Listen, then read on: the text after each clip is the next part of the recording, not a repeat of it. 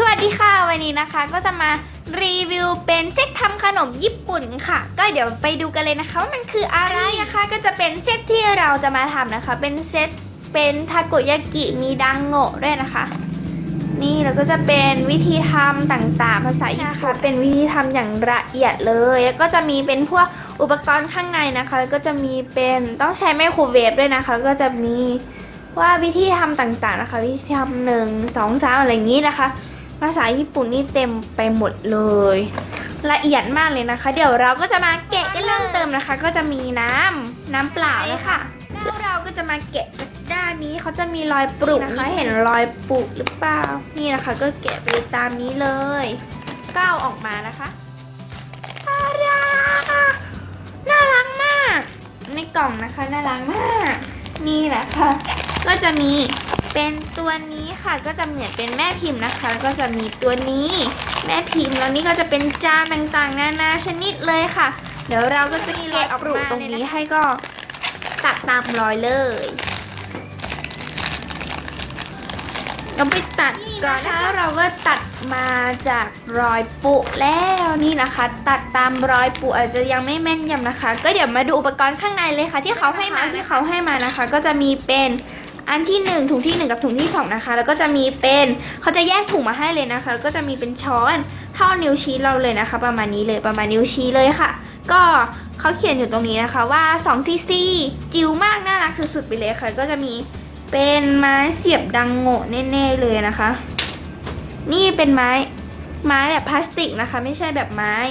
แล้วก็จะมีเป็นแก้วจิ๋วจิ๋วนี่เลยจิ๋วมาก แล้วก็จะเป็นพวก แม่พิมพ์ปาทายากิอ่า ก็จะมีเป็นตรงนี้นะคะ แล้วก็จะเป็นร่องๆต่างๆอุ๊ยอันนี้สตรอเบอรี่เอ๊ะทำสตรอเบอรี่ด้วย ก็จะมีเป็นนี่ลายเขาละเอียดมากเลยนะคะ เดี๋ยวจะให้โฟกัสให้กล้องโฟกัสละเอียดไหมละเอียดมากเลยนะคะปลาทายากิเนี่ยอ้ายน่ารักก็จะมาตัดตามรอยปูนี้อีกทีนึงค่ะ จะมีรอยปูตรงข้างๆนะคะ ก็ตัดมาเลย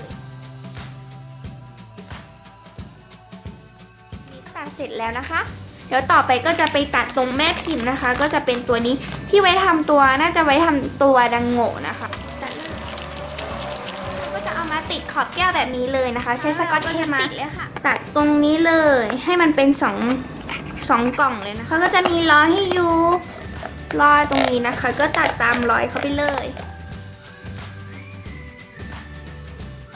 ก็ได้เป็นสองกล่องแล้วค่ะ เป็นปลาทายากิกับตัวนี้ที่ไว้ผสมกันนะคะ หลังจากนั้นนะคะเราก็จะใส่เป็นกัวซองสตรอเบอรี่ค่ะ ก็ใส่ลงไปในช่องนี้เลยนะคะ แล้วก็จะเอาตัวช้อนที่เขาให้มานะคะ เอาไปเก็บไว้ไหนแล้วเนี่ย แล้วก็จะให้ช้อนอันนี้มานะคะ เอ๊ะช้อนอันนี้เราก็จะใช้นะคะ แล้วก็เป็นน้ำค่ะหลังจากนั้นทีนี้เราก็จะใส่ตัวซองนี้นะคะทำเป็นสตรอเบอรี่ค่ะก็จะตัดตรงหัวมุมนะคะเราก็จะตักน้ำมานะคะ มาหนึ่งช้อนแล้วก็ใส่ลงไปเลยค่ะ ช้ตัวนี้ไม้เสียบที่เขาให้มานะคะ ก็คนไปค่ะอยู่ตรงนี้นิดหนึ่งนะคะ นี่ อาจจะมองไม่ค่อยเห็นนะคะ นี่เลย ก็ใส่น้ำไปถึงเส้นตรงนั้นนะคะเราจะใช้เป็นซองตัวนี้ค่ะ แล้วก็ซองสีฟ้านะคะ เป็นอันที่ใหญ่มันจะมีซองสีฟ้าอันอีกอันนึงค่ะ จะเป็นแบบฟ้ามินๆหน่อยนะคะ ก็ใช้เป็นซองใหญ่กว่าค่ะ นี่นะคะ เป็นแบบพงสีขาวๆนี้รู้สึกน่าจะให้ทำเป็นแบบข้าวเหนียวค่ะ มันเข้ากันมันก็จะเริ่มเนื้อเนียนขึ้นนะคะ แล้วเราก็จะเอาตัวแผ่นตัวนี้ค่ะ ที่เราได้ตัดไว้นะคะ เมื่อกี้แล้วเราก็จะเอาออกมันออกมาค่ะแยกมาชิ้นหนึ่งค่ะ แล้วก็ปั้นให้มันจะเป็นแนวยาวๆนิดหนึ่งนะคะ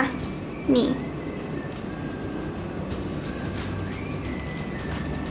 หลังจากนั้นก็จะแปะมันลงไปแล้วก็จะกด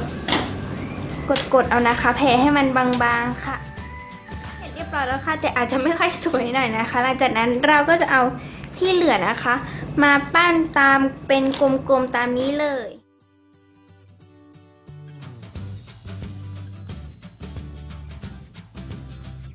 น้ำไปถึงตรงขีดเหมือนเดิมเลยขีดนี้เหมือนเดิมเลยนะคะ แล้วก็จะเริ่มใส่กันนี่นะคะก็จะเริ่มเทตัวนี้ไปเลยค่ะ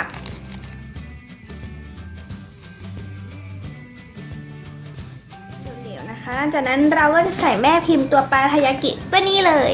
หลังจากนั้นเราก็จะไม่เทดีกว่าก็ใช้ช้อนตักนี้นะคะ แล้วก็นี่ใส่ทีละนิดทีละหน่อยค่ะ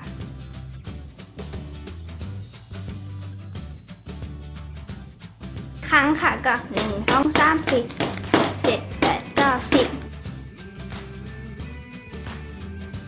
ถ้าเกิดเป็นของใครเป็นไมโครเวฟแบบถาดหมุนค่ะ ก็ให้วางไว้ขอบขอบถาดนะคะ แล้วก็ถ้าเกิด 500 วัตต์ให้ใช้ 40 วินะคะ แป๊บหนึ่งใช่ไหม น่าจะใช่นะคะ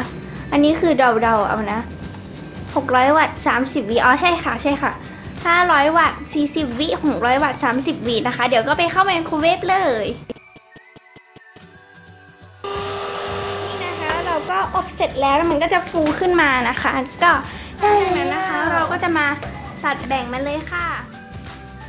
จากนั้นนะคะเราก็จะตักน้ำมา2ช้อนหลังจากนั้นนะคะเราก็จะมาเทใส่เลย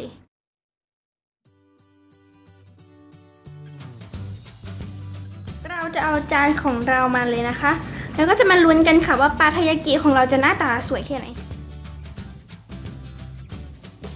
ทายากิเราหน้าตาหน้าสวย หน้าตาสวยงามมากไม่เป็นไรสงสัยรอบนี้คงจะต้อง แงะดีๆ แล้วแหละเออเดี๋ยวมาลุ้นกันเลยดีกว่า มันก็สวยอยู่นะคะ แต่มันเป็นรูอะไม่เป็นไรนะคะ ช่างมันอีกรอบ หลังจากนั้นนะคะ เราก็จะตัวเอาตัวช็อกโกแลตมาทากันเลย นี่นะคะช็อกโกแลตทาทาทาทาทาน่ากินจังเลยจากนั้นนะคะเราก็จะมาโปะเลยนี่ ส้ทะลักเลยแล้วเราก็จะแคะตัวสตรอเบอรี่ของเราออกมาจากนั้นนะคะเราก็จะเสียบตัวดังโง่ไปค่ะ นะคะเราก็จะเอาซอสตัวสีม่วงม่วงนี้นะคะ ใส่ลงไปในนี้เลยด้วยความที่เกียจล้างนะคะ นี่ไม่อยากล้างแล้วเราก็ใส่ในนี้แทนเลยนะคะ เราก็จะใส่สองช้อนไปค่ะใส่น้ำไปสองช้อนนะคะ แล้วก็ ใส่ตัวแม่พิมพ์นี้เลยสองช้อนนะคะ หลังจากนั้นเราก็จะใส่ตัวถุงนี้เดี๋ยวไปดูกันนะคะว่าถุงไหนนะคะถุงสีม่วงค่ะ แล้วเราก็จะใส่เข้าไปเลย กลัวมันหกมากเลยนะอะตัดเล็กๆแล้วกันอึ๊บอ้าวหล่นไปอีกอ้าอย่าหล่นไปสิโอเคค่ะแล้วเราก็จะมาใส่เลย ใส่ใส่ใส่ใส่ใส่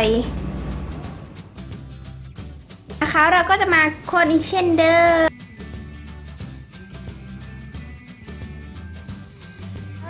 ตัวดังโงะของเรามาราดซอสนี้เลย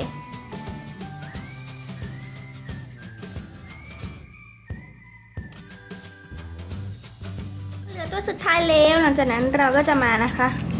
อึ๊บเอาตัวสตรอเบอรี่ของเรามานะคะ ไว้ตรงกลางเลย ก็ห่อไปไม่ดีกว่า